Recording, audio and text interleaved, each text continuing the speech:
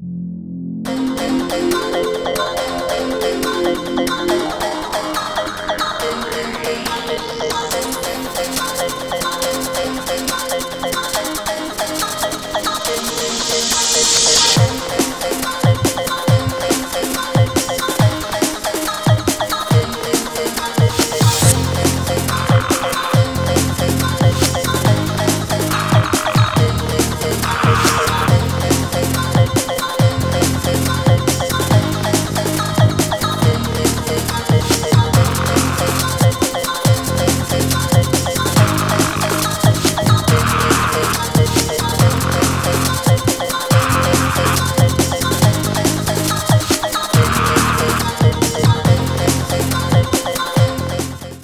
Buonasera a tutti, allora innanzitutto grazie mille per essere qua il venerdì sera anziché essere andati a, a divertirvi e a ballare.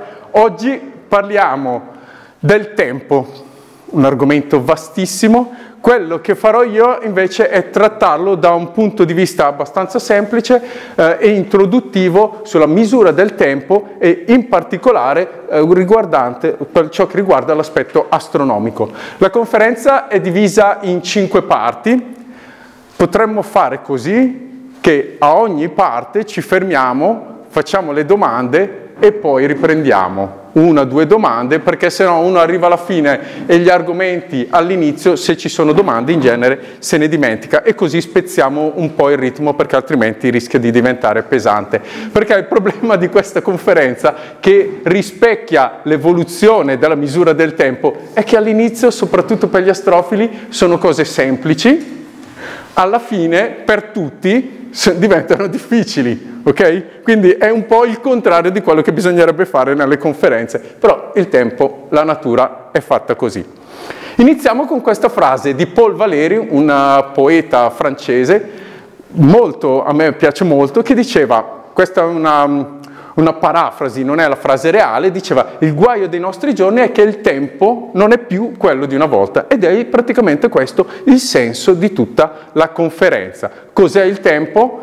Innanzitutto è qualcosa di inesorabile, di implacabile, un continuo mutamento, evoluzione, cambiamento, cambiamento, un cambiamento tale che nel tempo tutto cambia, persino il concetto e come noi misuriamo il tempo stesso.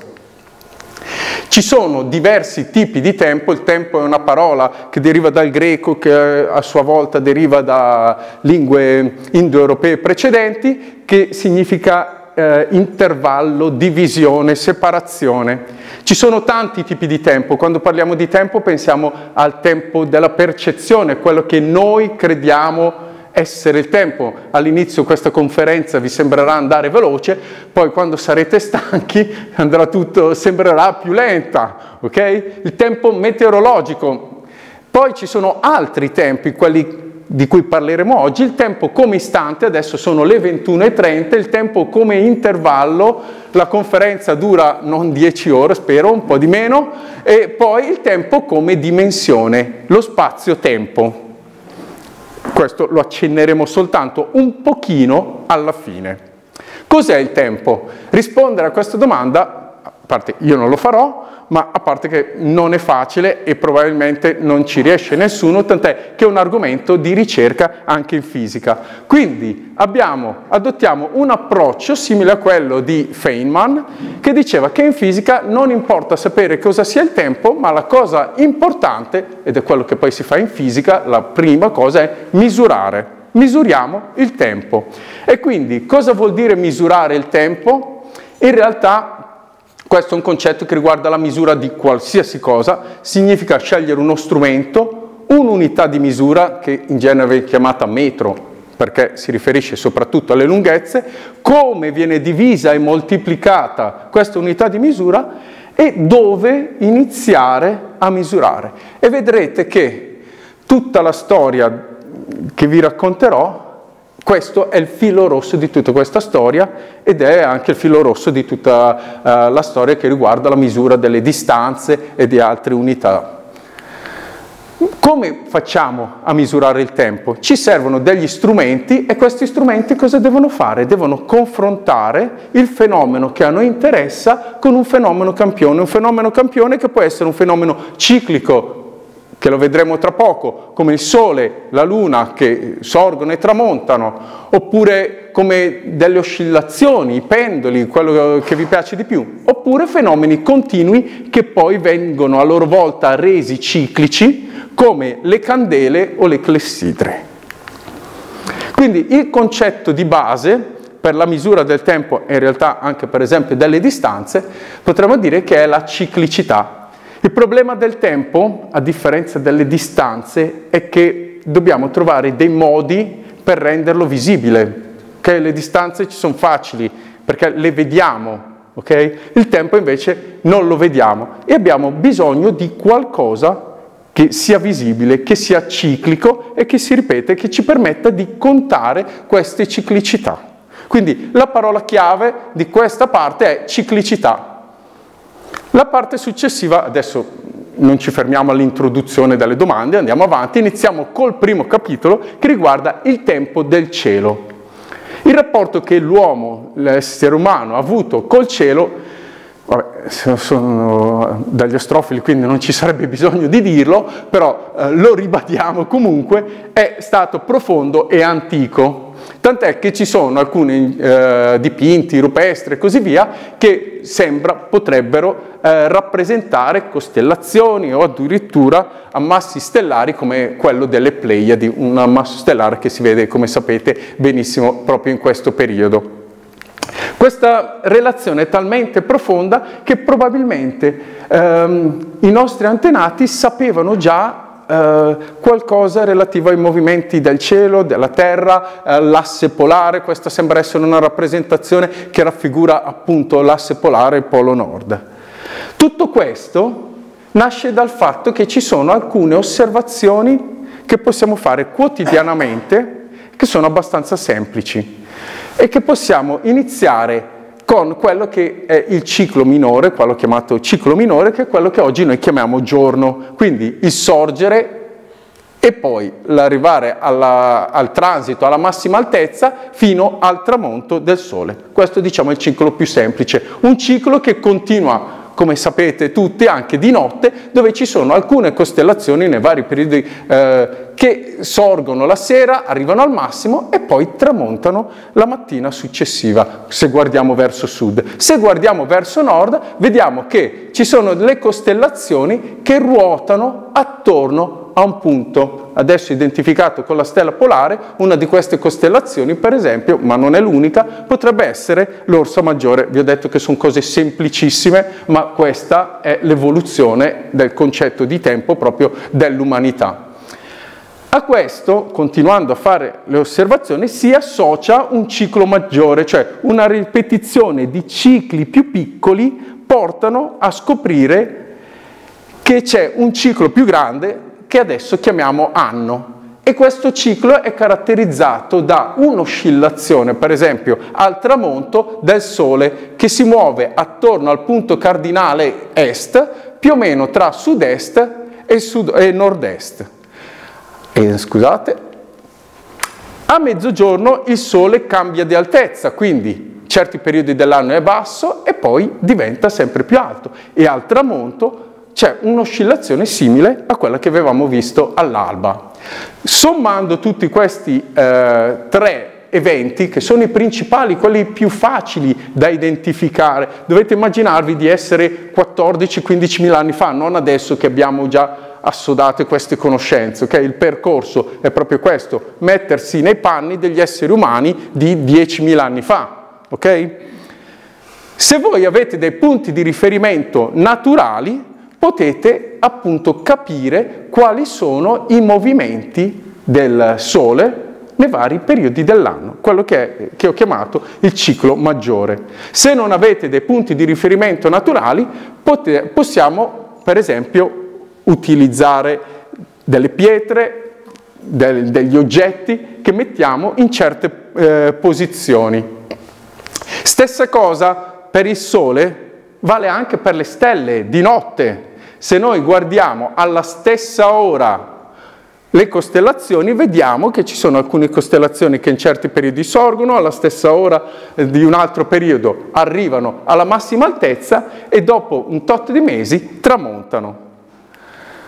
Andiamo avanti, perché sennò diventa troppo lunga, perché il concetto, il passo fondamentale che ha fatto l'umanità è stato quello di mettere insieme tutte queste informazioni e collegarle a ciò che accadeva sulla Terra e quindi accorgersi che quando c'era il sole basso faceva freddo, almeno alle nostre latitudini, quando il sole era alto in cielo faceva caldo.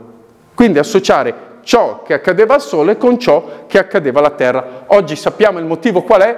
È che l'asse di rotazione non è perpendicolare al piano dell'orbita, ma è inclinato e quindi questa, questo arco che indica l'altezza del Sole rispetto alla verticale è piccolo, quindi il Sole è alto in estate e basso in inverno cose molto semplici. Stessa cosa la si può fare per le stelle, qui iniziamo a complicare un po' una cosa, perché guardando le stelle, costellazioni all'alba o al tramonto, che sono i momenti più facili da identificare, possiamo accorgerci che ci sono certe stelle e costellazioni che sorgono o tramontano all'alba o al tramonto del Sole. Il motivo, anche questo a oggi è noto, una volta ovviamente non lo sapevano, è che per esempio una certa costellazione non la vediamo, soprattutto se è zodiacale, perché si trova il Sole in quella costellazione, sei mesi dopo, quando noi ci troviamo dall'altra parte dell'orbita, riusciremo a vedere, come in questo periodo più o meno, eh, la costellazione del Toro, perché il Sole è nella costellazione opposta. Sommando tutti questi dati, noi abbiamo che grazie alle stelle, al Sole, possiamo in un qualche modo creare una relazione con ciò che avviene sulla Terra. E quindi capire, per esempio, quando il Sole è alto, quando ci sono certe costellazioni è estate, quando il Sole è basso e ce ne sono altre è inverno. E questo è un punto importante, è la base perché? È la base per fare un passo avanti nella conoscenza e nella previsione. Il concetto per cui il Sole, eh, l'astronomia è stata importante è proprio questo, riuscire a prevedere in anticipo gli eventi terrestri. E come possiamo fare? Farlo ancora in modo più preciso. Per esempio, utilizzando la levata eliaca delle stelle, cioè una stella che sorge appena prima del sorgere del Sole. Questo è un concetto un pelino più difficile di quelli di prima, e gli antichi egizi utilizzavano Sirio perché Sirio aveva allora la levata eliaca intorno al 20 giugno. E il 20 giugno era il solstizio, eh, quello che oggi è il 20 giugno, è il solstizio d'estate e da quel periodo in poi iniziava il Nilo a straripare. E quindi era un momento per stabilire il giorno preciso del, di quello che adesso, e poi vedremo meglio, è il calendario. Questo quindi ci dà esattamente un giorno dopo il quale avvengono certi fenomeni sulla Terra che mi possono essere utili. E questo accade perché? Perché se noi guardiamo il sorgere del sole mese dopo mese vediamo sopra di lui scorrere delle costellazioni. E questo è dovuto al fatto appunto come dicevamo prima che la Terra ruota attorno al sole e il sole si sposta nelle varie costellazioni. Quindi quando si trova nello fiuco o nello scorpione, anche se si trova per poco tempo, noi vediamo sorgere la bilancia. Quando entrerà nella costellazione del Sagittario, noi all'alba vedremo lo fiuco. E in pratica è come se il Sole rimanesse sempre alla stessa altezza all'alba e dietro vedessimo scorrere le costellazioni, in particolare quelle dello zodiaco. Tutto questo, che per voi sono cose già note, però è stato importantissimo ed è la base per capire tutto il resto per diversi motivi. Prevedere le stagioni, prevedere le stagioni cosa vuol dire? Prevedere quando arriveranno i frutti, i fiori, quando eh, ci saranno le migrazioni degli animali e quindi quando io potrò eh, cacciare quindi sono cose vitali, per noi adesso non sono così vitali, ma lo sono. Prevedere la luna, la luna piena, adesso è quasi un vezzo romantico. Una volta la luna piena voleva dire che si pote- ci si poteva muovere di notte. Nell'antichità gli eserciti si spostavano con la luna piena.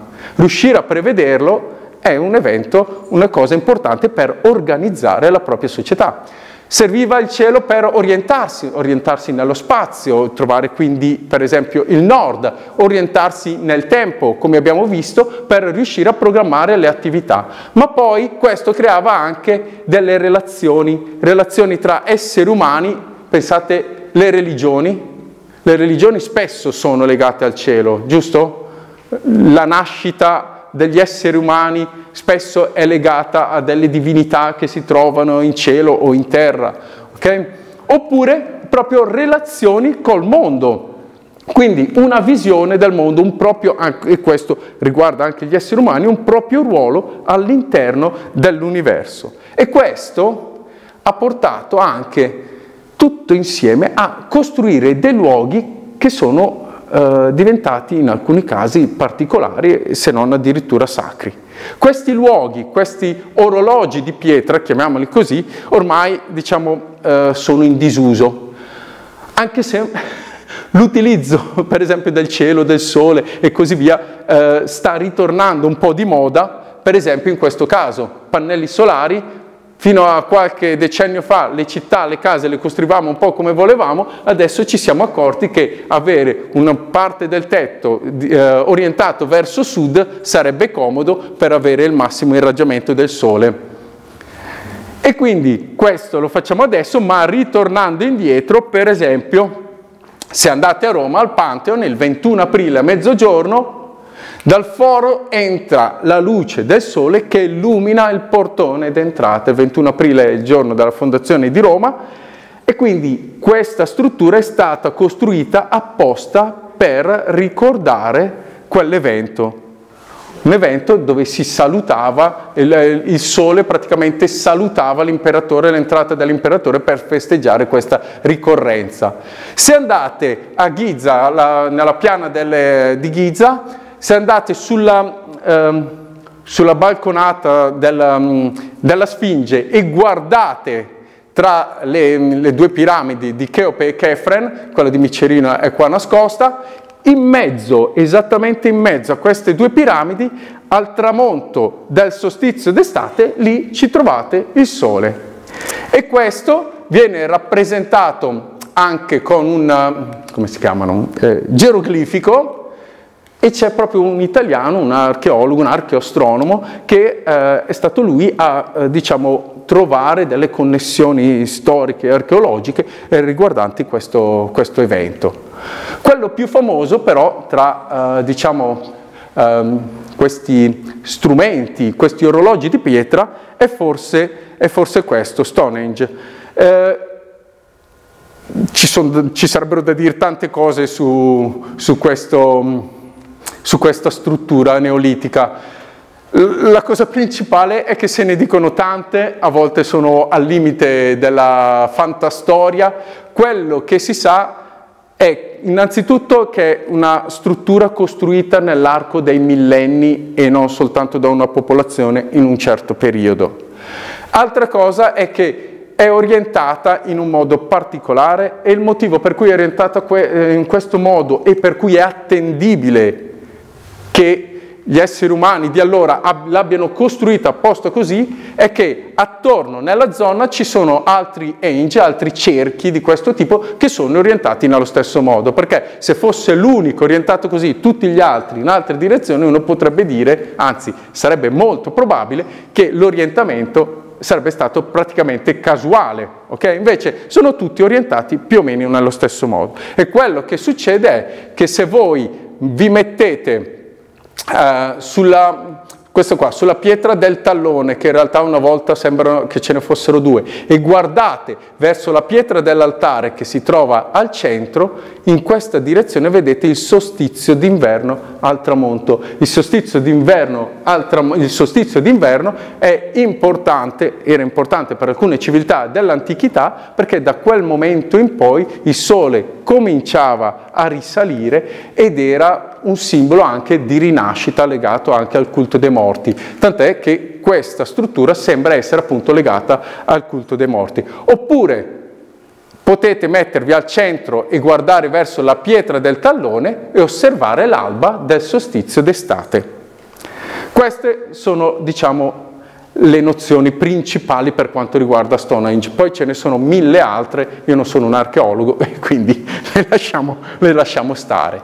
E con questo abbiamo finito la prima parte e il concetto, la parola chiave di queste prime slide è proprio correlazione, mettere in relazione eventi che sembrano apparentemente diversi, adesso noi sappiamo che sono legati tra di loro e abbiamo visto i motivi, ma 10.000 anni fa o quando era non lo sapevano, mettere in relazione eventi del cielo con eventi della terra e riuscire quindi a prevedere ciò che accadeva in terra guardando ciò che avveniva in cielo.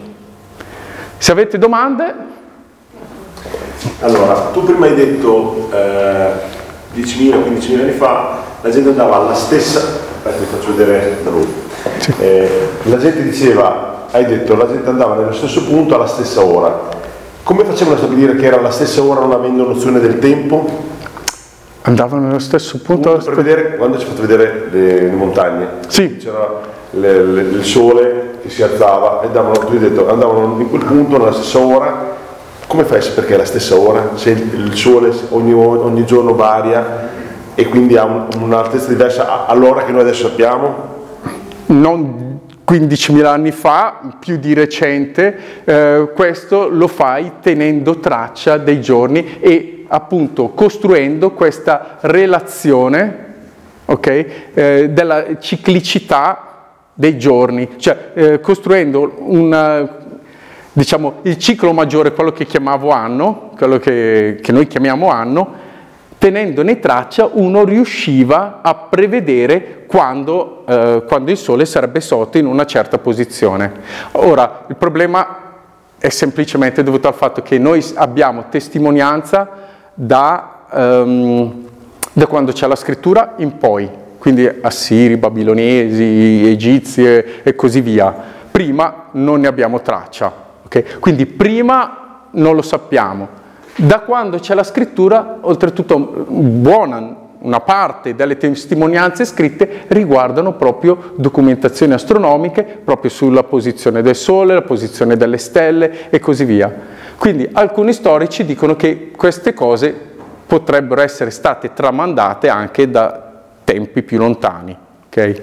Però c'è bisogno di un qualche modo in cui tu tieni traccia dello scorrere del tempo, di questa ciclicità, e poi ripercorrere. Quello che avevano fatto gli antichi è la relazione col cielo, quindi l'asse di rotazione, eventualmente le Pleiadi e quello lì. Se ho detto altro si vede che mi sono spiegato male.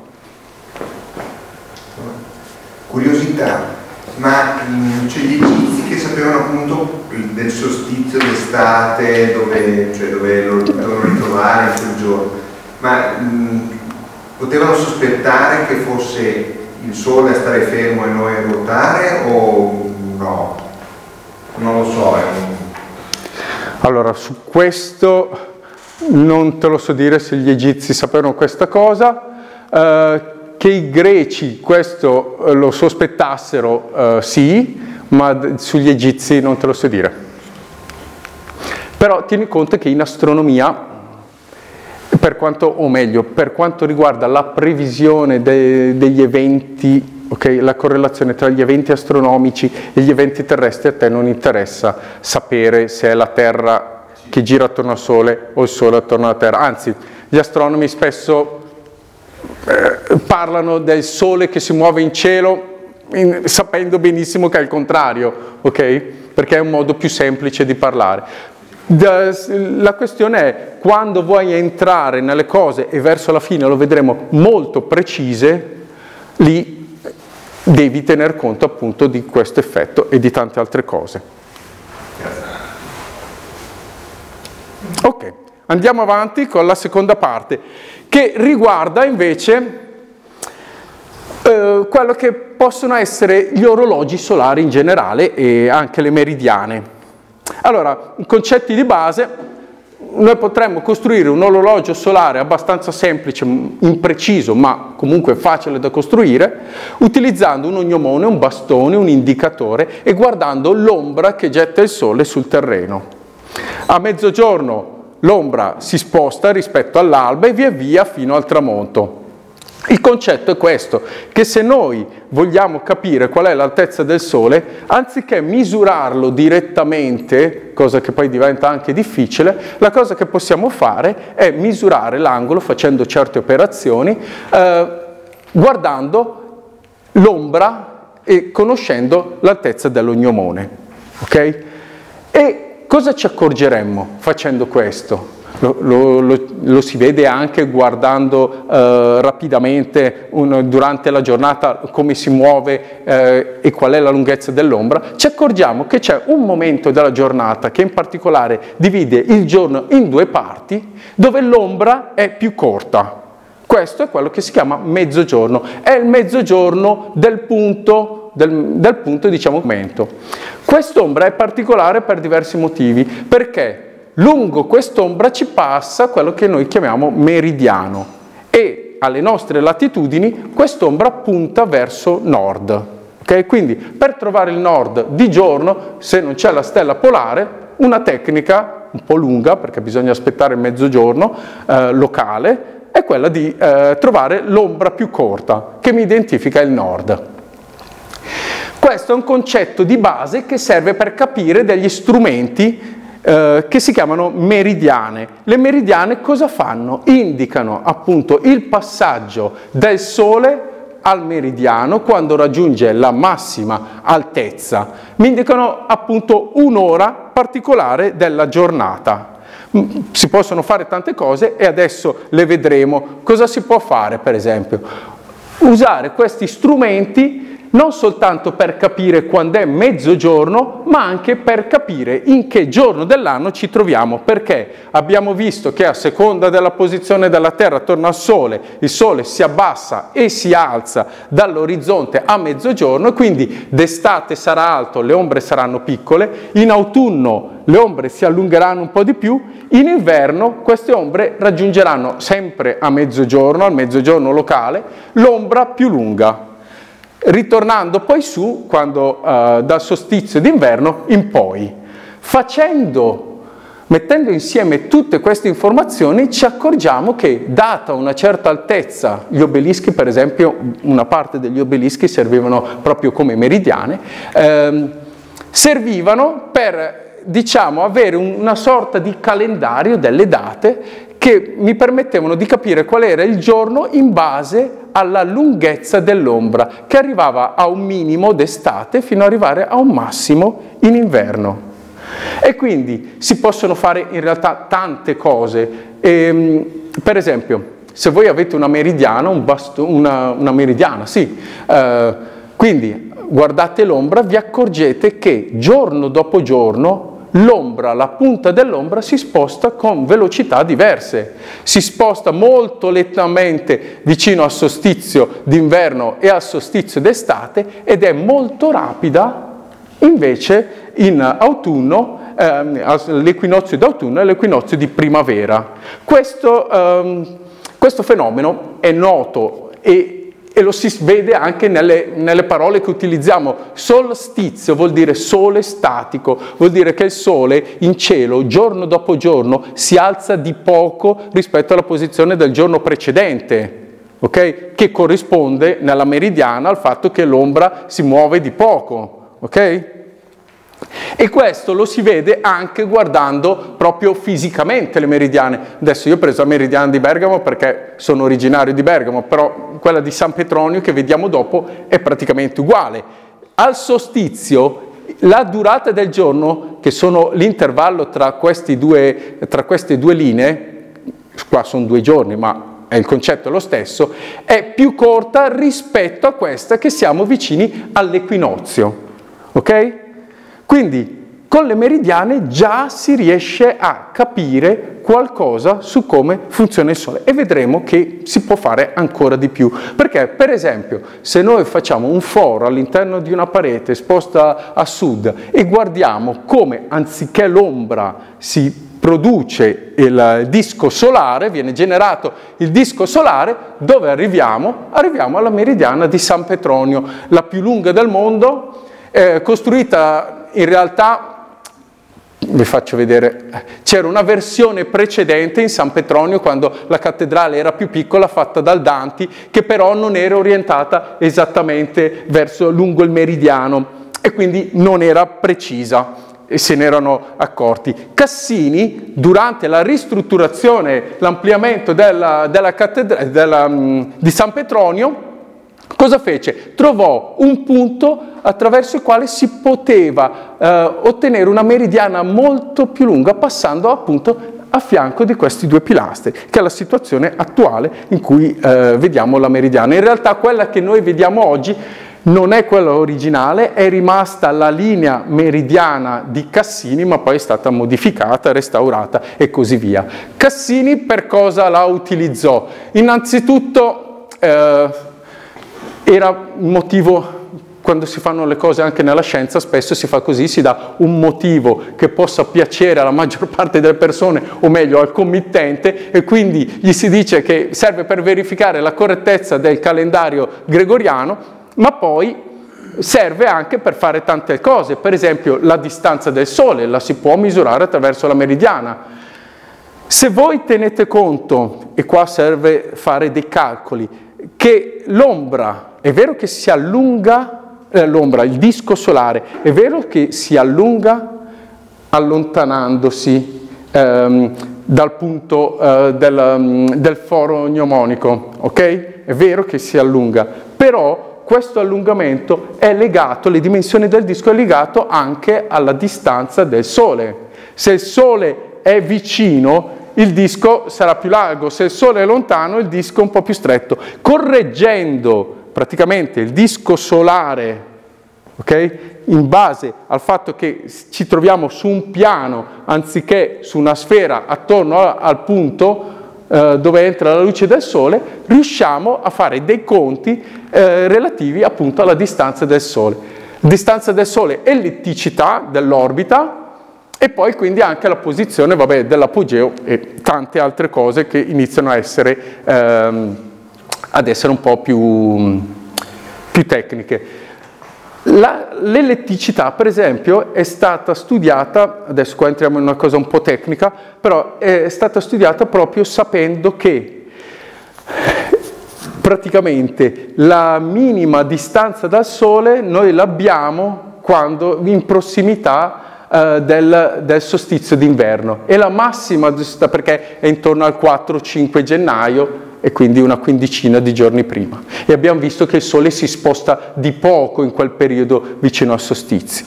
Il solstizio d'estate, eh, 21 giugno, è vicino alla, come si chiama, all'apogeo, alla, all'apoe, alla felio, scusate, che è la massima distanza dal Sole, okay? che è intorno al 4 luglio, Praticamente facendo questi conti e facendo dei rapporti erano riusciti a calcolare, eh, facendo i conti di prima e facendo dei rapporti erano riusciti a calcolare abbastanza facilmente l'elettricità dell'orbita della Terra. Quindi con la meridiana si può fare molto di più rispetto a quello che noi pensiamo quando guardiamo a terra e diciamo serve soltanto per misurare il mezzogiorno. La meridiana però è un tipo di orologio solare, un orologio solare che indica soltanto un'ora. Possiamo costruire un orologio solare molto semplice dividendo praticamente eh, il nostro, possiamo pensare anche al nostro cerchio oppure al semicerchio in spicchi di 15 gradi. È un orologio molto impreciso ma ci dà un'indicazione dell'ora e quindi in base alla posizione dell'ombra tra questi, queste linee orarie, noi riusciamo ad avere un, quello che potremmo chiamare ora. Questi sono due esempi risalenti a, agli egizi di eh, orologi solari, dove all'interno di questo foro veniva messo l'ognomone e l'ombra, orientato correttamente, l'ombra diceva qual era il periodo, eh, il momento della giornata. Una cosa che per esempio alcuni archeologi pensano questa tavoletta potrebbe essere stata usata per stabilire l'orario di lavoro delle persone e il mezzogiorno è questa linea che si intravede appena appena e questa qua, secondo alcuni archeologi, potrebbe essere diciamo, la pausa, la mezz'ora di pausa che veniva data ai lavoratori eh, di 4.000 e, e rotti, 3.000 anni fa. Però dopo lo vediamo meglio quando andremo nella, nella quarta sezione che questi orologi utilizzati anche in epoche molto più recenti, avevano, diciamo così, dei problemi. Però gli orologi solari possono essere usati appunto anche come datari, mischiando appunto il movimento dell'ombra durante il giorno con la loro la variazione della lunghezza in base all'anno e quindi solstizio d'estate seguiranno certe linee, d'inverno altre e così via. Quello che succede è che quindi io, guardando quelli che sono gli orologi, eh, gli orologi solari, posso sapere non soltanto l'ora, ma anche il giorno in cui mi trovo. E questi sono due esempi, per esempio di Bologna, questo è nel quartiere Savera, non è un datario, ma eh, può funzionare, funziona da orologio solare. E adesso vediamo invece un po' come costruirli, abbastanza in modo semplice, perché ci sono due concetti di base. Il concetto di base è quello di prendere un bastone, puntarlo verso la stella polare, verso il nord, e un disco perpendicolare. Questo disco praticamente, se lo proseguiamo, interseca l'equatore celeste, è parallelo all'equatore terrestre. Okay? L'angolo è la nostra latitudine. Praticamente, guardate, se noi pensiamo di aver costruito un orologio solare in modo corretto, l'asse di rotazione è parallelo al, all'ognomone, al mio indicatore, ok? Durante il giorno avviene una cosa simile. Guardate, noi diciamo, noi pensiamo che quando guardiamo un orologio è l'ombra che si sposta. In realtà, guardatelo bene cosa succede. L'ombra punta sempre verso le stelle, sempre la stessa stella nello stesso giorno, ma è tutto è la Terra, tutto ciò che ci sta intorno che ruota. Ok? Quindi, come capita spesso in astronomia, ciò che sembra muoversi in realtà sta fermo e si muove ciò che invece eh, sembra stare fermo. Il passaggio successivo qual è? E qua viene eh, diciamo, la parte un po' più complessa perché ci sono dei conti matematici che noi non facciamo, è quello di praticamente, adesso andiamo avanti, di fare delle proiezioni delle ombre sui pannelli che possono essere verticali o orizzontali. E queste proiezioni mi danno quelli che sono gli classici orologi solari che vediamo Ehm, diciamo sulle pareti che ormai vanno di moda e non sono più eh, di utilizzo come orologio o come datario, come per esempio questi. Ce ne, sono, ce ne sono tanti in giro, una volta venivano utilizzati appunto per misurare il tempo, adesso sono diventati eh, degli oggetti per abbellire le facciate delle, eh, delle case. Però hanno dei limiti questi strumenti. E quali sono i limiti? Innanzitutto, se c'è nuvoloso non funzionano, eh, dovete andare sempre fuori a guardare eh, che ore sono e poi, ed è una cosa che vedremo eh, più avanti, danno un tempo che è locale, quello di quel posto, in quel, preciso, eh, di quel posto preciso ed è un tempo, eh, diciamo, disuniforme. È il motivo che vedremo anche dopo che si ripete continuamente eh, per quanto riguarda la misura del tempo è che l'orbita della Terra non è circolare e l'asse di rotazione del nostro pianeta è inclinato. E quindi già nell'antichità si erano utilizzati degli strumenti che permettevano di avere una misura eh, del tempo indipendente dalla dal cielo. In realtà non è vero che erano completamente indipendenti, perché il cielo serviva comunque per tarare e calibrare, diciamo così, questi strumenti. E quindi avevamo le clessidre che possono essere state fatte in modo più o meno semplice, con dei meccanismi rudimentali, fino ad arrivare in epoche molto più recenti, in quelle che noi chiamiamo clessidre a, a sabbia, quelle che sono le clessidre a sabbia, adesso in realtà hanno, hanno coniato questo nuovo, nuovo termine clepsamia perché clepsidra vuol dire che ruba l'acqua, clepsamia vuol dire che ruba la sabbia, però fondamentalmente sono sempre delle clessidre. E quindi assieme agli orologi solari, quelli rudimentali, semplici, eh, quelli divisi, dove le ore venivano divise in 15 gradi,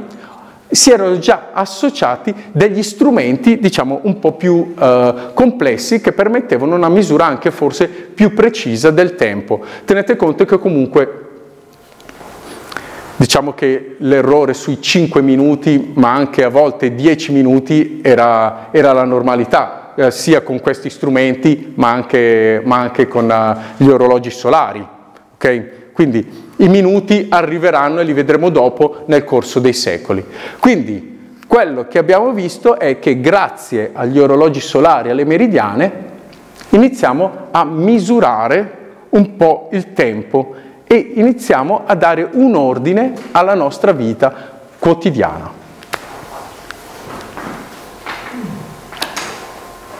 Ah, volevo chiedere quando è che hanno iniziato a capire che le meridiane devono essere usate sia per l'ombra sia per la proiezione dell'ombra. Anche questo è, stesso, è, lo stesso problema, è che ci sono, per esempio, gli egizi lo sapevano già, anche i babilonesi ci sono tracce che eh, sapessero già queste, queste cose, probabilmente lo sapevano già anche prima. Cioè, nel senso, noi abbiamo un limite che è quello della scrittura e della documentazione, prima della quale gli orologi solari i primi sono quelli che, vedere, che vi ho fatto vedere, 1300 avanti Cristo, sono già cose abbastanza complesse da utilizzare. Quindi si pensa che già prima, nei millenni precedenti, erano in uso strumenti simili. Okay. Grazie. Ok, andiamo avanti allora, che vabbè, questa è una cosa che... Eh, che forse già sapete, nel senso che è relativa a quello che è la struttura del calendario che noi utilizziamo, quello che è il calendario l'anno civile. In realtà ci sono tanti tipi di calendario e eh, praticamente si basano i vari calendari o sul Sole o sulla Luna o sono un misto. Il nostro, che è il calendario gregoriano, è un calendario solare. Per esempio il calendario islamico invece è un calendario lunare, il calendario degli antichi romani, poi anche loro tanti, hanno avuto tanti tipi di calendari, era un misto lunisolare. I calendari hanno una durata diversa in base al tipo appunto di oggetto che prendo come riferimento. E quindi il calendario eh, lunare per esempio dura 354 o 355 giorni. Eh, quello solare, vabbè, 365 e quello invece lunisolare dura 354 giorni, però ogni tanto viene aggiunto un mese intercalare per tener conto di cosa? Degli 11 giorni di differenza che c'è tra il calendario lunare e il calendario solare. Per esempio, il Ramadan, il calendario islamico, ogni anno differisce, anticipa di 11 giorni rispetto all'anno precedente proprio per questo motivo, perché si basa sul calendario lunare. Ora, il problema qual è? Capire come mai il nostro giorno, i nostri anni durano a volte 365 giorni, a volte 366. E il motivo è come sempre nella scienza, è definire cosa si intende con una parola, per esempio anno. Cosa si intende per anno? Allora, potremmo pensarla, visto dall'esterno, come il periodo che la Terra impiega a ritornare nello stesso punto dell'orbita. Però questo è una cosa difficile da capire ed è anche una cosa che eh, è venuta dopo la nascita del calendario, per capire il, eh, la nascita del concetto di anno. Per capire il concetto di anno, quello che potete pensare invece è, è il periodo che il Sole impiega a ritornare nella stessa posizione in cielo. Però quando dite la stessa posizione in cielo nascono un sacco di problemi. Perché? Perché se prendete come riferimento le stelle, allora avete questo anno. Se prendete come riferimento le stagioni, avete un anno, che viene chiamato anno tropico, che dura in questo modo. Okay? Se invece prendete gli absidi, eh, l'asse maggiore, l'asse minore e così via, avete un'altra durata. E quindi è un casino enorme. Il casino enorme nasce dal fatto, oltretutto, che queste differenze sono dovute al fatto che principalmente eh, le orbite dei pianeti non sono delle strutture rigide, ma sentono delle influenze dagli altri pianeti e poi si ruotano, oscillano e così via. E quindi non sono, eh, diciamo, precise. Oltre, cioè, il periodo non è lo stesso sia se guardiamo le stelle, sia se prendiamo come riferimento le stagioni.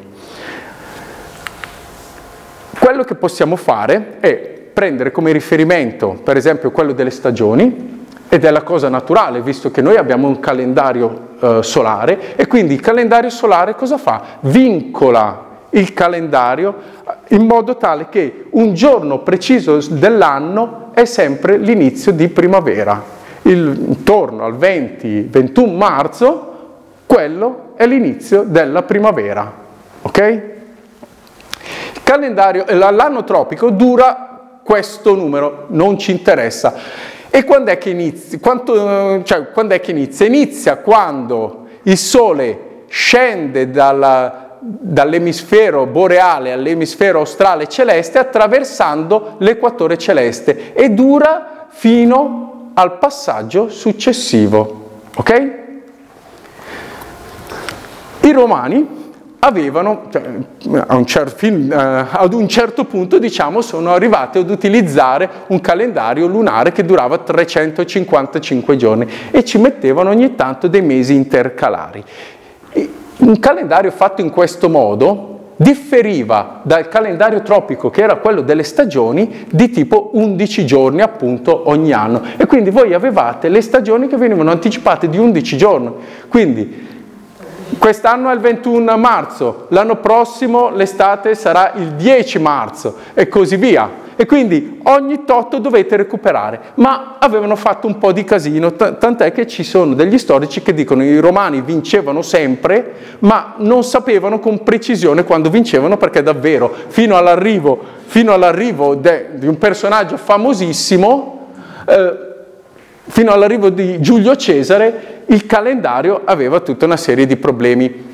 E quindi Giulio Cesare decide di fare la riforma e di adottare il calendario, eh, diciamo, solare, più simile a quello degli egizi, portando la durata dell'anno a 365 giorni. Ma fece anche un'altra cosa.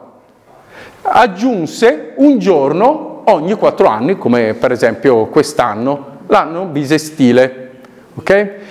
Eh, nel 46 oltretutto dovette aggiungere altre decine di giorni nei vari mesi dell'anno per fare sì che il 21 marzo fosse comunque sempre l'inizio della primavera. Okay? Quindi immaginate di essere in quell'epoca che casino doveva, che doveva essere vivere con... Uh, voi saltavate o vi aggiungevano 11 mesi, 10, 11 giorni, scusate, uh, ad un mese, il mese dopo non sapevate quanto durava. Un casino, ok? Però finalmente si regolarizza la struttura dell'anno e cosa si ha?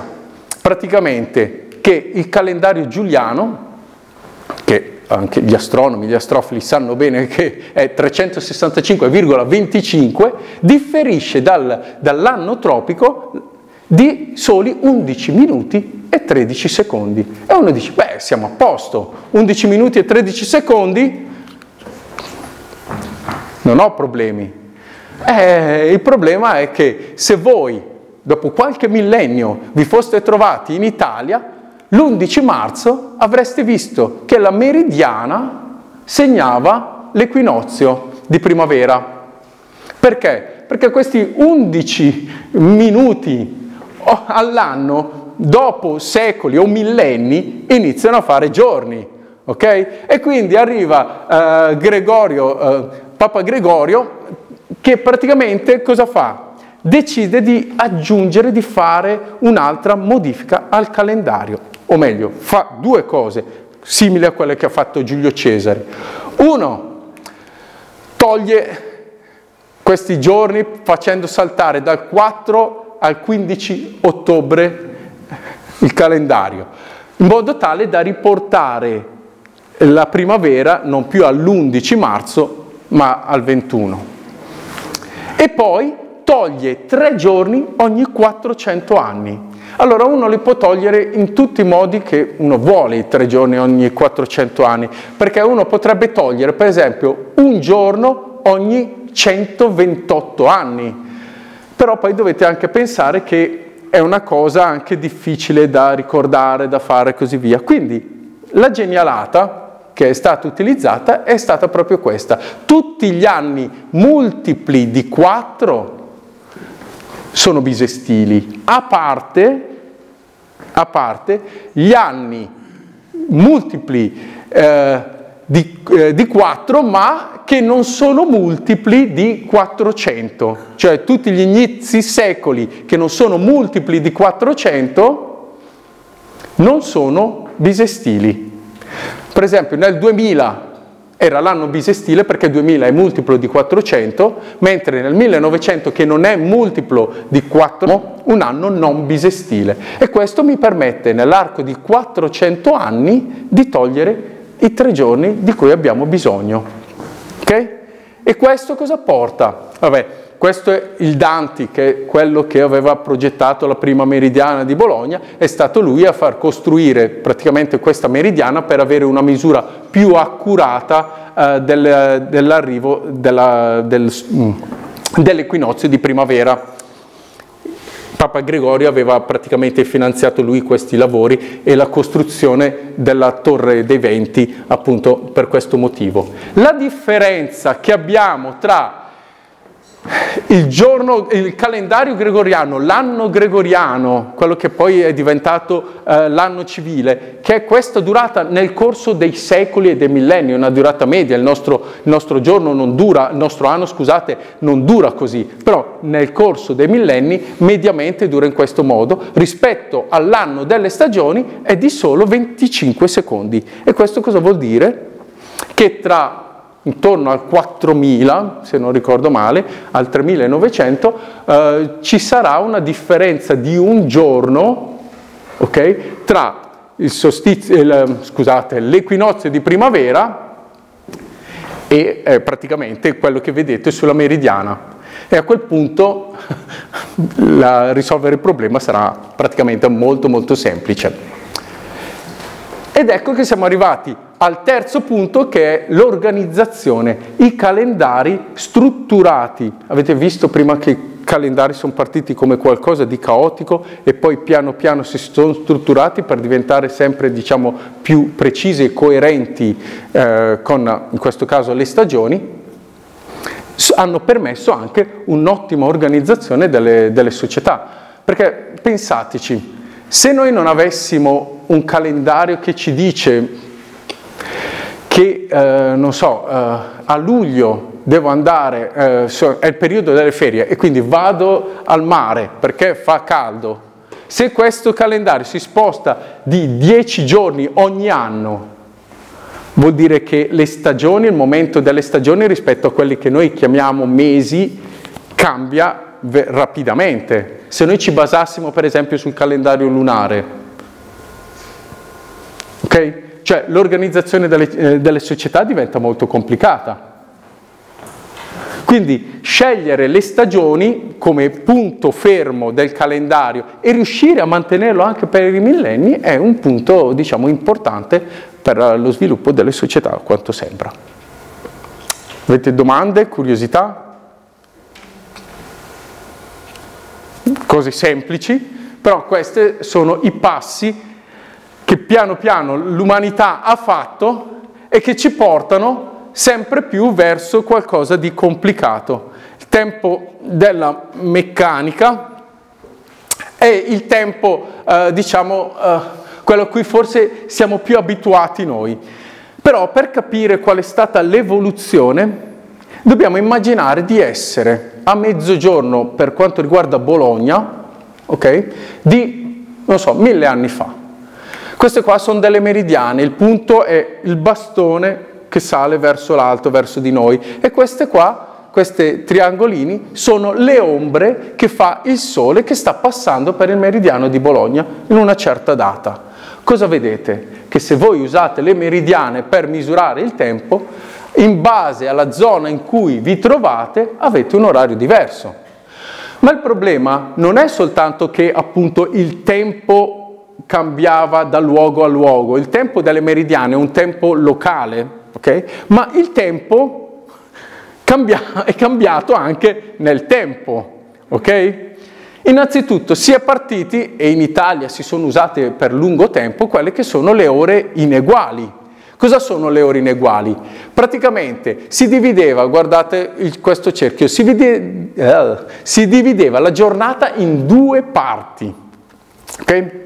Queste due parti della giornata che iniziava, una, la notte iniziava dal tramonto e finiva all'alba, il giorno iniziava dall'alba e finiva al tramonto, venivano divise in 12 parti uguali, cioè 12 parti il giorno, 12 parti la notte.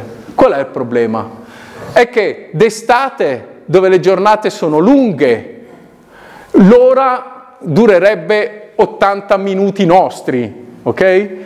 In inverno dove le giornate sono corte, questo qua, l'ora, quanto dura? Eh, scusate, ce la faccio, ok?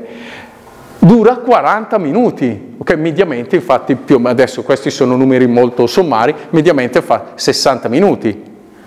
Quindi vuol dire che lavorare un'ora in estate voleva dire lavorare molto di più, il doppio rispetto a lavorare un'ora d'inverno.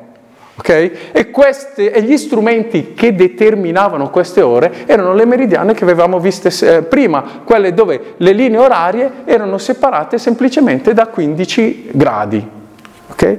Il Sole percorre queste linee con tempi diversi durante l'anno. Poi c'è una curiosità, per esempio la siesta na- nasce dal fatto che le ore 6, il mezzogiorno, erano eh, dette appunto la sesta ora e quindi era anche l'ora del riposo, come abbiamo visto già essere una tradizione antica, diciamo così. I primi orologi nascono dal fatto che i monaci dovevano pregare anche di notte, ci sono state varie riforme, quella benedettina e così via che ha riformato i vari orari e quindi dovevano svegliarsi, dovevano sapere il momento in cui dovevano pregare. E, ed è stato questo stimolo questo stimolo, diciamo che ha permesso lo sviluppo della, degli orologi meccanici. All'inizio c'erano gli orologi solari, poi sono comparsi quelli a acqua, poi sono arrivati i primi meccanismi, ok? Già nel 300 a.C., molto semplici come lo scappamento che impediva alla, alla ghiera di, eh, di ruotare a vuoto, ok? Di tornare indietro fino ad arrivare agli orologi meccanici più o meno, queste sono date molto sommarie, intorno al 1300. Questi qua sono delle riproduzioni appunto degli svegliarini che usavano i monaci per svegliarsi, oppure degli orologi a campanile che vedete che funzionavano con dei massi, delle pietre che servivano per far ruotare gli ingranaggi. Questi sono i primi orologi. In Italia e vedrete che ci sono eh, in giro, se andate in giro vedete ancora qualche orologio con le ore italiche, si utilizzava un modo di eh, contare eh, le ore un po' particolare, molto comodo, molto pragmatico, ma sotto certi aspetti un po' complicato, perché il giorno iniziava dal tramonto, ok? Quindi l'ora zero, diciamo, era questa, Andavate avanti, avanti, avanti, fino al tramonto successivo. Cosa succede però? Che in base alle stagioni, quindi in estate e in inverno, il momento dell'alba e del mezzogiorno cambia in continuazione. ok? Quindi il mezzogiorno non era sempre alle ore 12, ma poteva essere alle ore 18 come poteva essere alle ore 10, per dire, per dare dei numeri così indicativi, ok? Però era molto comodo, perché questo metodo di misurare il giorno se voi eravate in campagna, sentivate 22 rintocchi, vuol dire che avevate ancora due ore di tempo prima di ritornare in città e terminare il vostro lavoro. Ne sentivate 23 e dovevate iniziare a prepararvi. Perché? Perché il campanile poi veniva, diciamo, eh, le campane venivano suonate in base all'ora del tramonto. Ovviamente c'erano anche lì tutti dei calcoli, delle preparazioni, giorno dopo giorno. Eh, per sapere qual era l'ora in cui bisognava eh, diciamo, eh, far suonare le varie campane. Il problema però qual è? È che utilizzando queste ore, le ore italiche che vengono usate praticamente fino all'unità d'Italia, voi dovete regolare l'orologio praticamente ogni giorno, perché il tramonto si muove da un giorno all'altro più o meno a due minuti al giorno, indicativamente, ok? Quindi se non lo regolate, magari non tutti i giorni, ma di frequente, rischiate di stare indietro decine di minuti, se non addirittura ore. E quindi è una cosa diciamo anche abbastanza scomoda perché regolare in continuazione degli orologi meccanici questi, questo porta ad usura, si possono rovinare e così via. Oltre Alpe si facevano delle cose diverse è un modo un po' più razionale che poi quello che utilizziamo tutt'oggi, è quello di dividere sempre la giornata in due parti e dividere sempre in 12 ore. Ma le giornate iniziavano, il giorno iniziava, eh, si contava da mezzogiorno fino a mezzanotte e da mezzanotte fino a mezzogiorno. Quindi antemeridiane e post meridiane.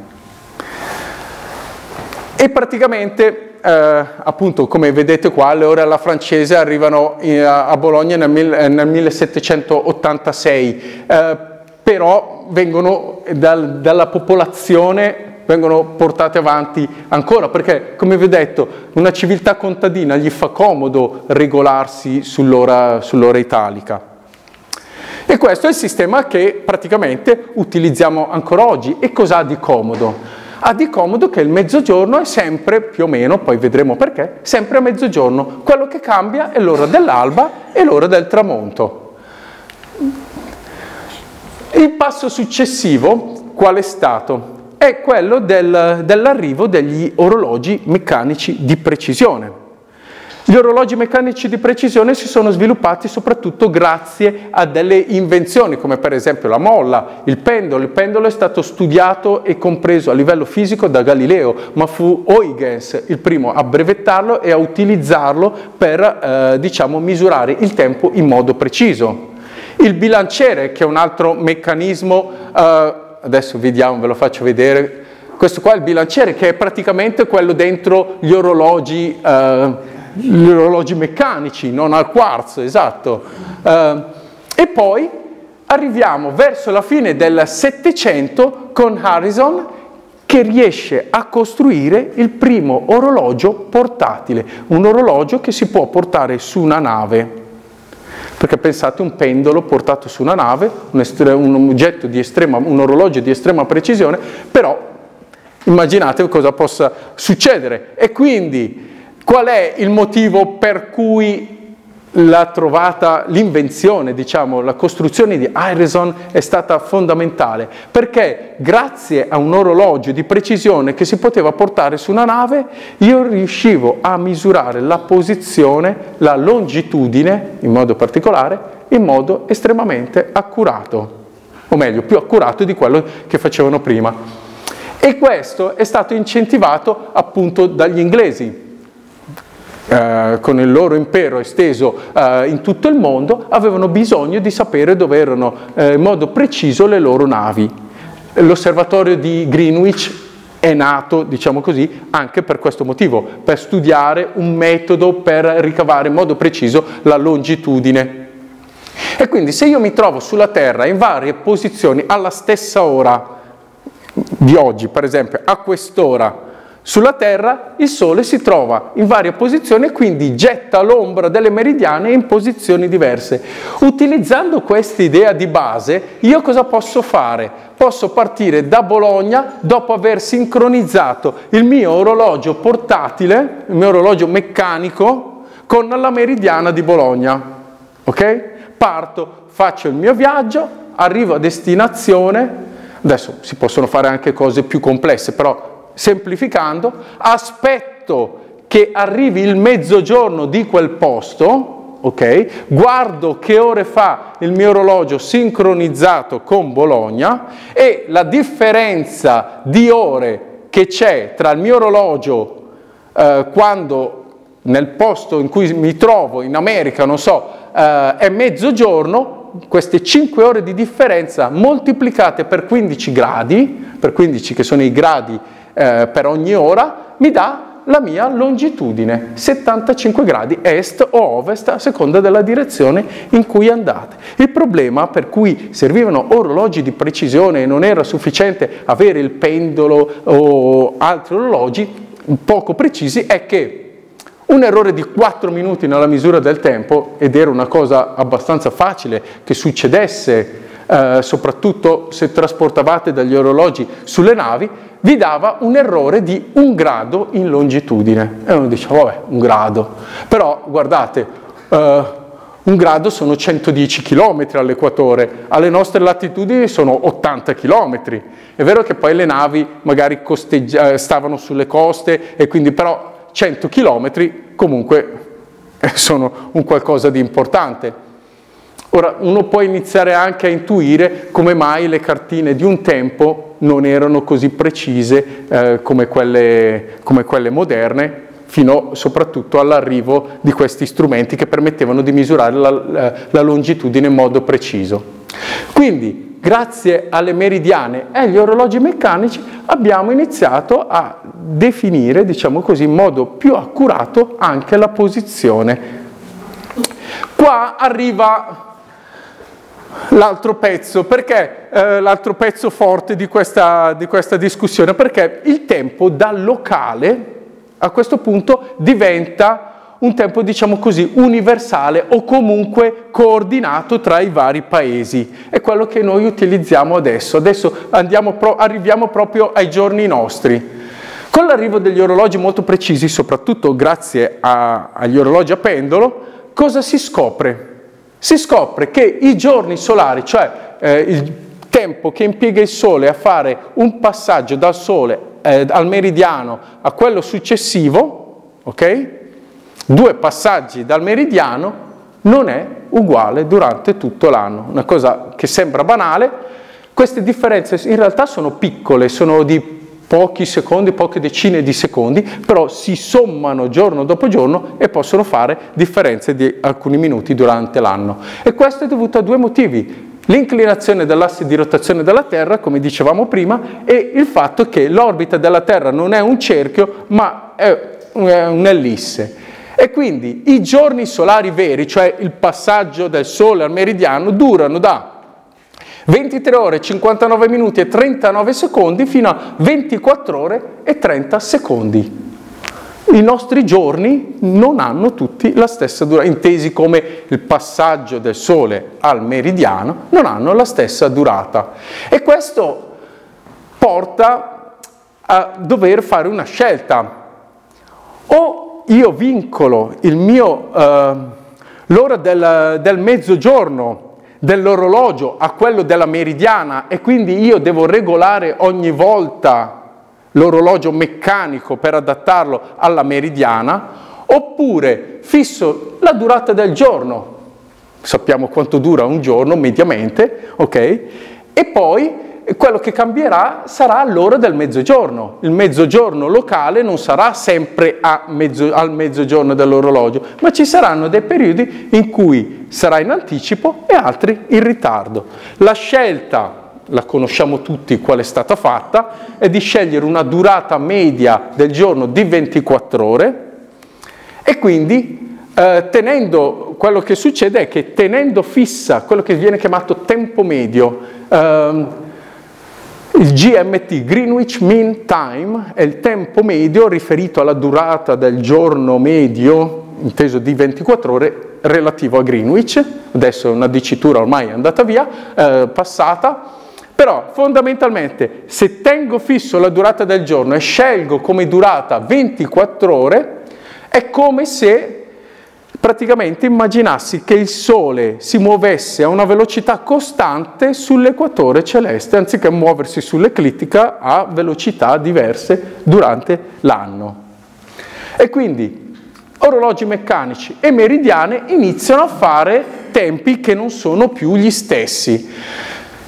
Quello che forse avrete già sentito parlare, l'equazione del tempo, soprattutto gli astrofili, è praticamente cos'è? La differenza tra il tempo misurato dall'orologio meccanico che va a tempo medio con il tempo della meridiana. Pensate a questa cosa, Huygens l'ha ideata, diciamo così, eh, l'ha sviluppata nel 1670. In Svizzera iniziano a usarla un secolo dopo, prima la usavano solo gli astronomi in pratica. A Bologna è arrivata nel 1860, praticamente due secoli dopo eh, dalla scoperta, diciamo così, ehm, dalla scoperta del tempo medio. E a questo punto, quando arriva il tempo medio, l'orologio ha il sopravvento sulle meridiane.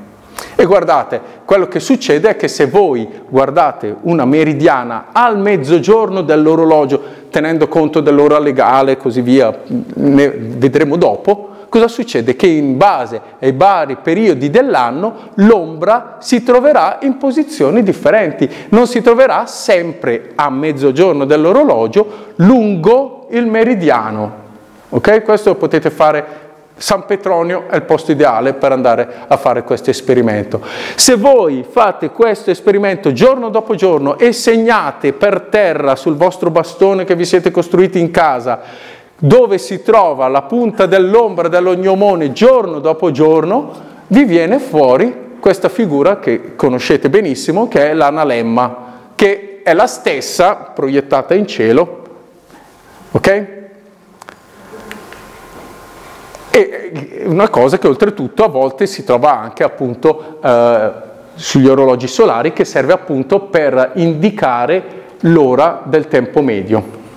Bene, Direi che andiamo avanti perché le cose stanno migliorando dal caos e dalla difficoltà eh, nella determinazione del tempo e nell'utilizzo del tempo, succede però che il tempo medio è un qualcosa diffuso, inizia a essere diffuso in tutto il mondo, in tutta Italia in particolare.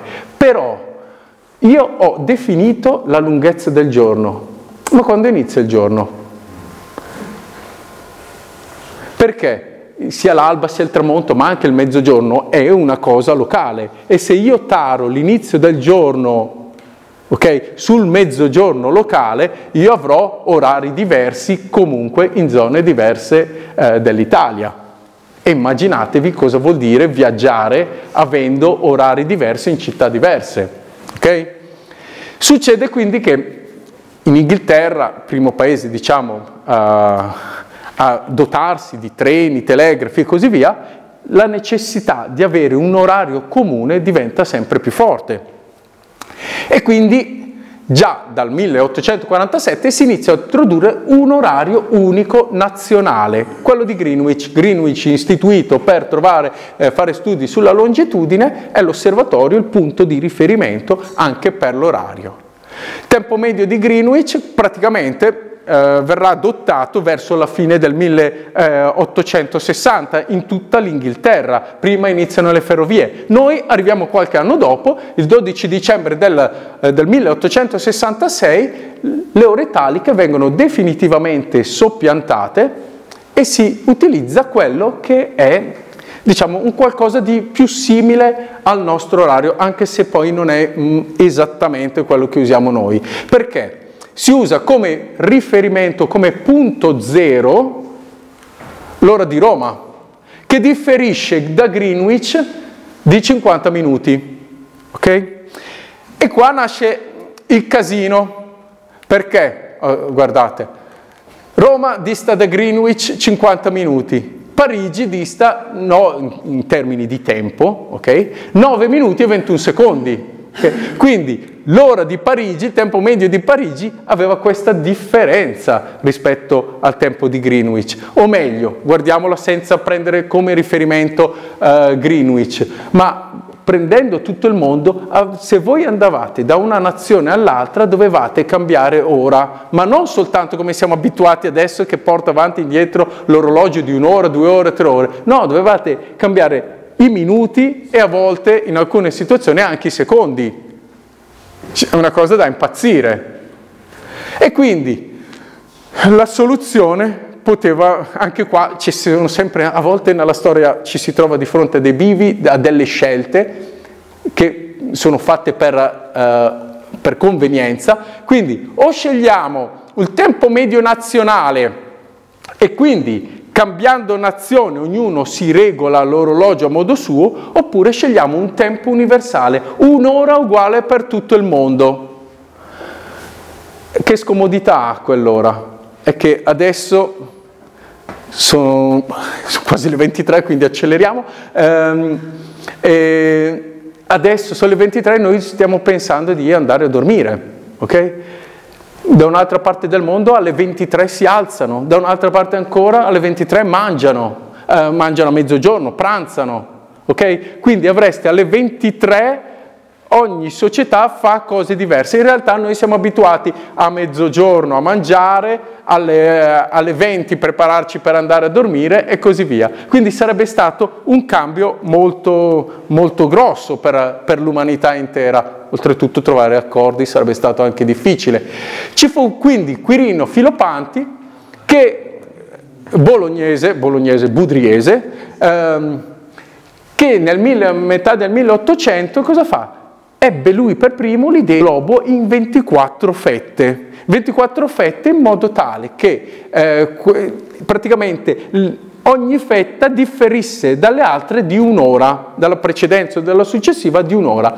Il meridiano fondamentale doveva essere quello di Roma e il tempo universale, cioè questo tempo uguale in tutto il mondo, doveva essere usato soltanto in astronomia, cosa che peraltro si fa, eh, e per eh, le telecomunicazioni, telegrafi, cosa che peraltro si fa ancora alla navigazione, alle telecomunicazioni, si usa il tempo universale. Vabbè, adesso andiamo veloci perché il processo di, eh, diciamo, eh, processo storico e diplomatico per giungere a una soluzione per eh, la divisione dei fusi orari fu lungo e complesso, si arrivò quindi a usare come tempo medio di riferimento il punto zero, quello di Greenwich, anche perché tenete conto che già prima del 1884 eh, molte carte di navigazione delle varie marine eh, statunitensi, non soltanto eh, britanniche, quindi statunitensi, russe e così via, erano tutte basate sul tempo medio di Greenwich. E cambiare e cambiare, per esempio, utilizzare come tempo medio di riferimento quello di Roma o addirittura quello di Parigi, perché erano i francesi che volevano utilizzare, far sì che il meridiano fondamentale passasse per Parigi, ok? Eh, sarebbe stato molto complesso. E quindi si è, a, si è giunti finalmente alla conclusione che il meridiano di riferimento sarebbe stato quello di Greenwich. Noi in Italia siamo passati alla convenzione diciamo, ehm, dei fusi orari nel 1983 ok? Dove 1800, scusate, 1893, dove praticamente abbiamo spostato l'orologio avanti di 10 minuti. Prima eravamo 50 minuti dal meridiano di Greenwich, adesso ci siamo, siamo arrivati a un'ora come dovrebbe essere. La Francia, che appunto non gli piaceva tanto questa cosa del meridiano che passava per Londra, eh, adottò il fuso orario diciamo nel 1911. E quindi fondamentalmente quello che succede è che anziché avere come meridiano fondamentale per l'Italia quello di Roma, abbiamo quello dell'Etna. E così andiamo avanti. E siamo arrivati così a quella che è la globalizzazione. Abbiamo praticamente ehm, un tempo uguale o comunque un tempo un attimo più coordinato tra le varie nazioni e non un tempo che variava in continuazione da luogo a luogo. Immaginate viaggiare in treno, io parto da Bologna che ho un orario, vado a Torino che è un orario diverso, ok? E infatti oltretutto proprio, ci sono anche dei racconti che uno dei grandi promotori dei fusi orari fu un ingegnere che si accorse che questo era un ingegnere canadese che proprio eh, si era accorto che siccome il Canada si estende più dell'Italia in longitudine, l'effetto eh, del cambio dell'ora è significativo, si era accorto che utilizzando orari diversi in posti diversi si perdeva molto facilmente eh, il treno e quindi lui l'aveva perso e aveva fatto di tutto, diciamo così, per, mh, mm, per ovviare questa soluzione, per uniformare un po' gli orari e così via. Quindi questo è un tempo, diciamo, a noi più familiare, molto diverso rispetto a quello impreciso di qualche millennio fa. Domande, curiosità? Siete stanchi? Se volete io mi fermo qua, altrimenti c'è un altro pezzo sul tempo ancora più preciso, che è quello degli orologi atomici. Eh, arriviamo a una cosa più tosta, che è il tempo della fisica. Qui appunto facciamo una cosa veloce, ma se avete domande poi fatemi tranquillamente dopo. Perché? Perché dal tempo che, diciamo, globale, un tempo già abbastanza preciso, si arriverà un tempo ancora più preciso, un'ultra precisione, diciamo così, che quasi ci può sembrare strana, ma questa ultra precisione noi la usiamo quotidianamente, ve lo assicuro. Quindi 1780 viene introdotto, per, viene usato per la prima volta il tempo medio, le 24 ore, prima non era così. Nel 1884 arrivano i fusi orari, ok? E successivamente quello che porta una nuova diciamo, definizione, un nuovo utilizzo um, uh, del tempo nasce anche in questo caso dalla tecnica. Vi ricordate che la tecnica, la tecnologia legata agli orologi era nata dagli svegliarini chiesti dai monaci per poter pregare? Ecco, qua una tecnica, una scoperta scientifica che è la piezoelettricità ha portato uno sviluppo nella precisione degli orologi. Cosa vuol dire? La piezoelettricità cos'è? Quando avete, ci sono certi tipi di cristalli che sottoposti a una tensione elettrica alternata, una corrente alternata, questi iniziano a vibrare. Oppure, se questi strumenti, questi cristalli li fate vibrare meccanicamente, producono una corrente alternata. Ok? Questi cristalli vibrano in modo molto veloce, 100.000 eh, Hz, 100.000 Hz, sì, eh, 100.000 cicli al secondo e la frequenza non cambia con la temperatura, pressione e altre condizioni, quindi sono molto stabili. I primi orologi nella prima metà del Novecento iniziano a diventare molto più diffusi, la Svizzera appunto è famosa eh, per gli orologi da polso al quarzo, nella seconda metà del Novecento. Nel frattempo succede un'altra cosa, che vengono ideati gli orologi atomici. Gli orologi atomici che diventano, diciamo, eh, pratici e fattibili intorno alla metà del Novecento sono degli strumenti che hanno permesso, ed è questa la rivoluzione che è avvenuta nello scorso secolo, di passare dalla definizione di secondo legata all'anno tropico, quindi alle stagioni, a un evento astronomico, a una definizione atomica legata a un, a un elemento, a una transizione di un elemento che è il cesio 133 ok? Fino ad arrivare a quello che è il tempo universale coordinato che vediamo tra poco. Quindi, per arrivare al tempo, avete presente quando installate un programma o fate, aggiornate il computer o installate Windows sul computer vi dice UTC, UTC più 1, UTC più 2, quello nel, nel, senso UTC più 1, 2, 3 sarebbe quello del fuso orario, noi facciamo UTC più 1, ok? In genere si incontra lì UTC. UTC è il tempo universale coordinato, è il tempo di base quello diciamo di Greenwich, su cui si basano poi tutti gli altri eh, orologi in base ai fusi. Ed è dato dalla somma del tempo atomico e del tempo derivato dalle stelle dal moto della Terra. Tempo degli atomi. Allora, senza entrare troppo in uh, cose complesse, ehm, gli orologi atomici usano una frequenza 9 GHz che è la frequenza a cui eh, praticamente il cesio 133 passa da uno stato fondamentale a uno stato eccitato e viceversa. Andiamo, qua sono cose troppo complicate, se volete ne parliamo dopo degli orologi atomici. Il concetto è che ci sono tanti orologi atomici sparsi per il mondo, ce ne sono 450, che misurano ognuno il proprio orario. Okay?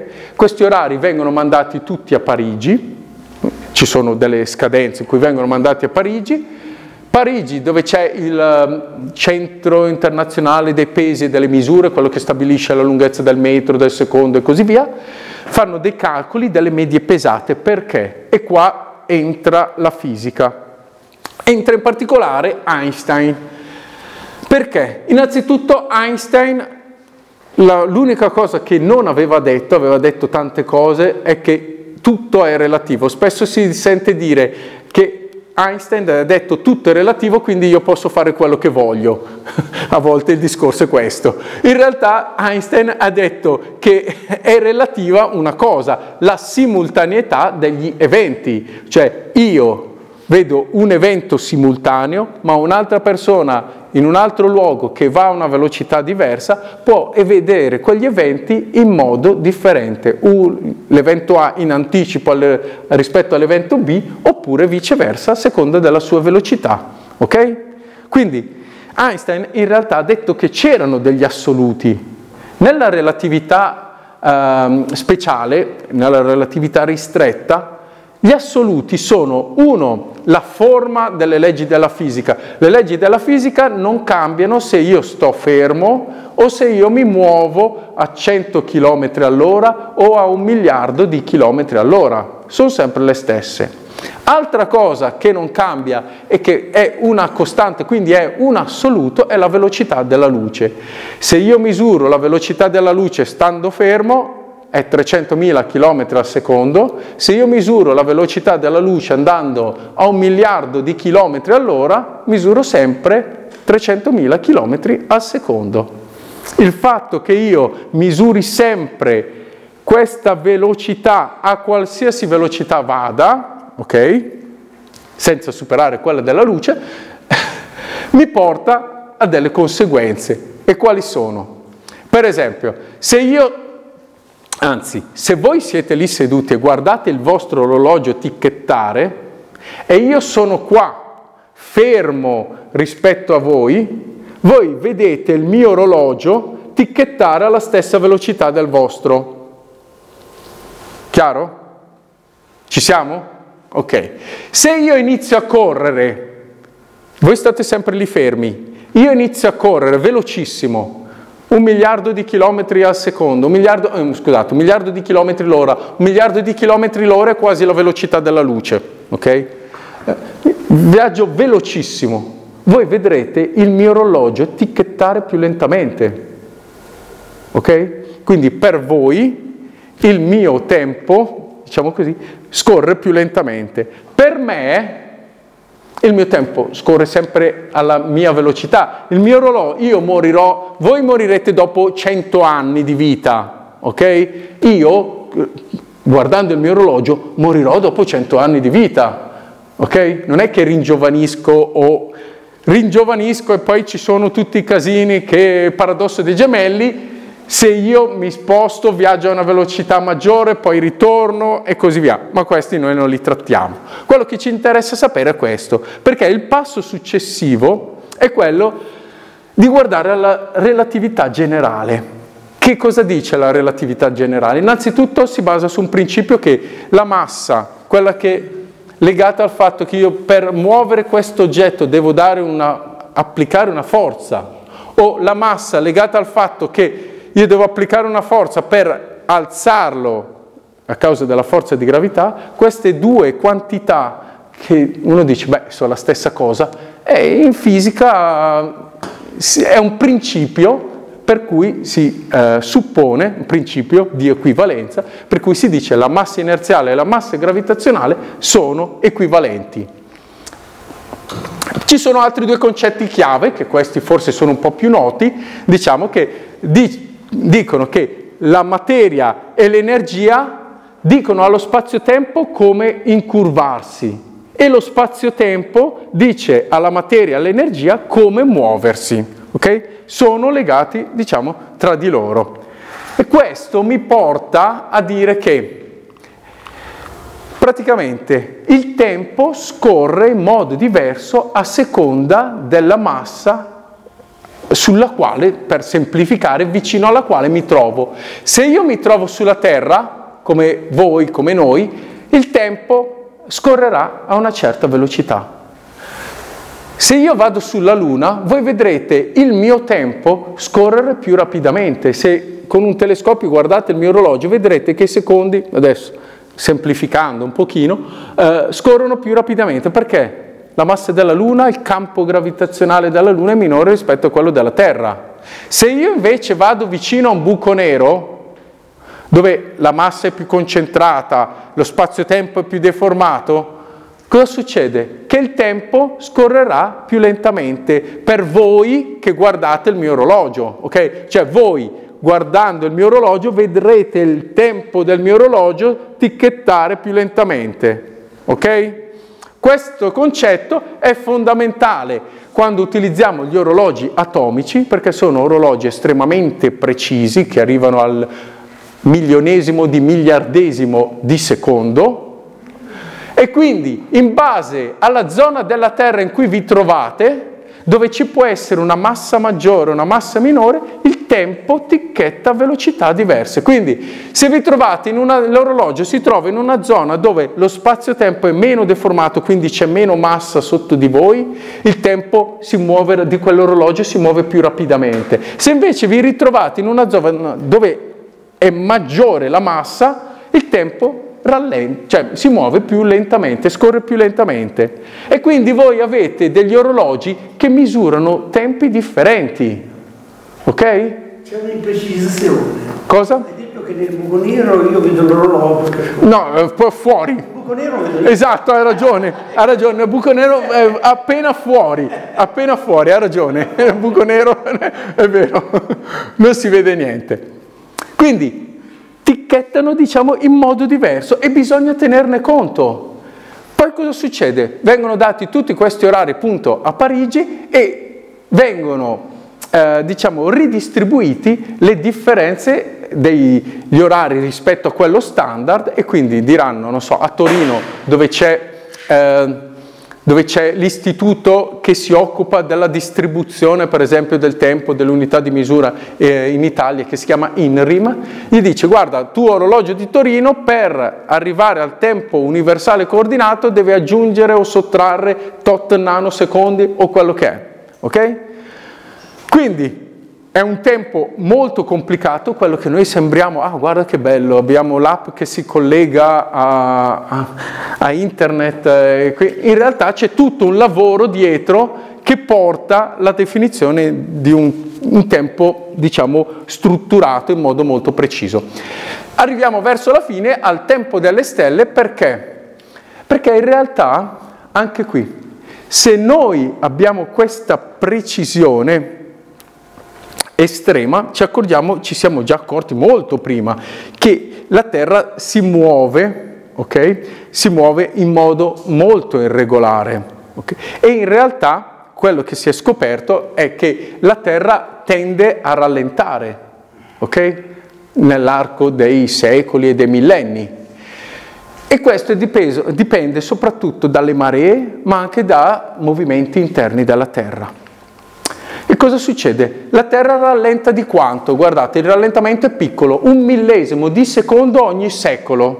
Quindi nel 1900, adesso queste sono dei, delle date indicative, nel 1900 il, seco, il giorno durava 86.400 secondi, nel 2000 durato 86.400 secondi più un millesimo.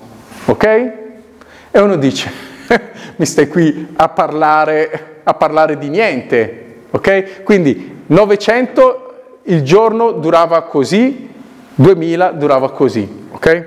Un millesimo in più ogni giorno. Il problema è questo, che dopo, uno dei problemi è questo, dopo, cent, dopo mille secoli, centomila anni, avremo il giorno che durerà 86.401 secondi. E uno dice, eh, e quindi qual è il problema? il problema nasce da qua, è che se io inizio a contare, ok, il giorno dicendo un giorno dura 86.400 secondi, mentre il giorno, quello della Terra reale, dura un millesimo in più, questo millesimo si somma giorno dopo giorno. Quindi dopo mille giorni avrò aggiunto un secondo, ok? Mille giorni sono un po' meno di tre anni. E questo cosa succede? Che fa sì che il tempo degli orologi atomici, che è estremamente preciso, si discosti dal tempo della Terra, che invece tende a rallentare. E quindi nel 1958 immaginatevi questa cosa. 1958 il tempo atomico e il tempo universale sono praticamente eh, allineati, esatto, sincronizzati. Qualche anno dopo, nel 72, il tempo atomico segna un certo orario, ma il tempo della Terra, il tempo delle stelle è rimasto un po' indietro.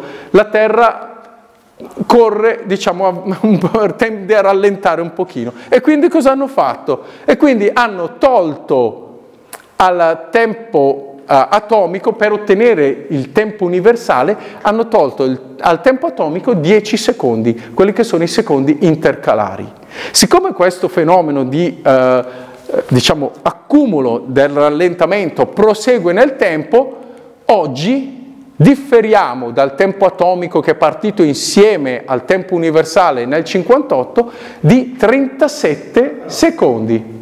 Quindi quando tornate a casa guardando il vostro orologio atomico dovete ricordarvi di togliere 37 secondi, ok?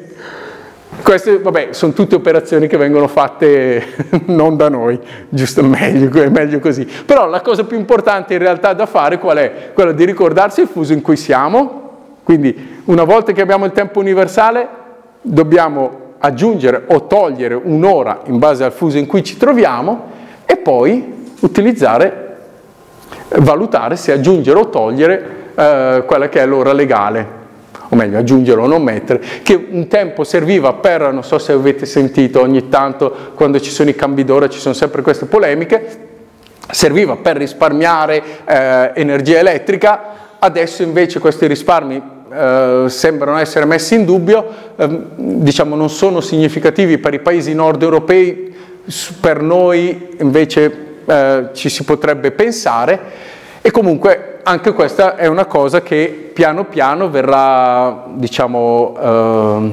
probabilmente tolta, anche perché il Parlamento europeo ha votato per l'abolizione, anche se non tutti i paesi sono d'accordo sul da farsi. E finiamo questa parte con un'altra cosa, perché il tempo l'abbiamo visto, abbiamo visto essere lo strumento principale per la misurazione della posizione, l'abbiamo visto con le meridiane o gli orologi per calcolare la longitudine.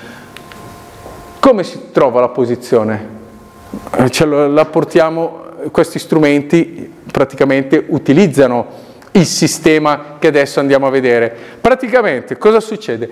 Attorno alla Terra non, sono, non ce n'è solo una, ci sono diverse costellazioni di satelliti, quella più famosa GPS americano, dove i satelliti praticamente sanno dove sono, semplifichiamo molto ma io non so dove sono, ok? Partiamo da qua.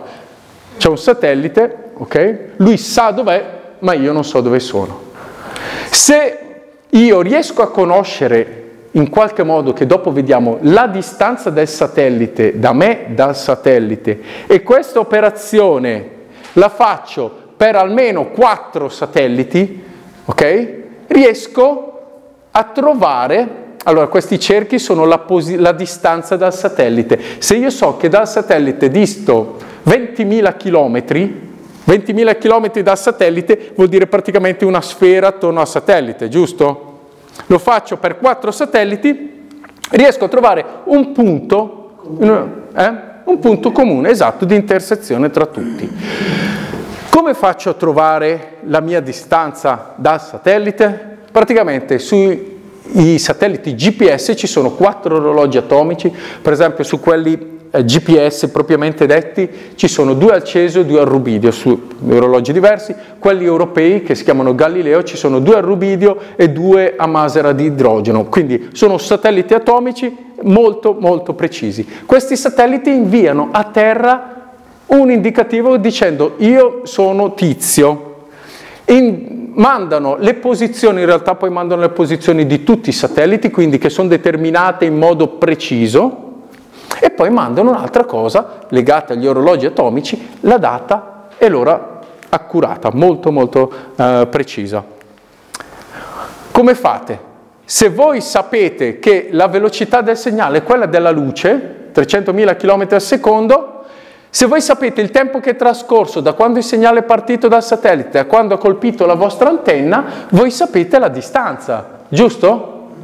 Operazione semplice, in realtà poi è molto complicata. Quindi l'orologio atomico cosa fa? Vi manda l'ora da cui è partito il segnale, voi facendo la differenza delle ore e facendo questo conticino, poi in realtà è complicato perché la velocità, della, eh, la velocità del segnale non è 300.000 km nell'atmosfera, ci sono tanti casini, però comunque in linea di principio riuscireste a sapere qual è la vostra distanza dal satellite. La fate per 3, 4, 5, 10 satelliti e sapete in modo preciso la posizione. Ma qua entra ancora Einstein, perché questi satelliti si muovono molto velocemente rispetto a noi e la gravità rispetto a noi è minore, ok? In particolare, la, loro viaggiano a 14.000 km orari, 3 km al secondo ok? Chilometri dal suolo, dal livello del mare. Quindi, viaggiando a questa velocità, il tempo rispetto a noi, cosa fa? Si muove più lentamente, giusto? Mentre essendo più distanti dalla pozza della massa della gravitazionale della massa della Terra, ok? il tempo scorre più velocemente. Questi due effetti, se li sommate, fanno una differenza tra un orologio a terra e un orologio uh, sul satellite di GP, GPS di 38 microsecondi, cioè 4 zeri e 38. Piccolissimo. Uno dice, beh, cosa vuoi fare con questi? Cioè, è poca roba, è inutile star lì a guardare uh, questi dettagli. In realtà cosa succede?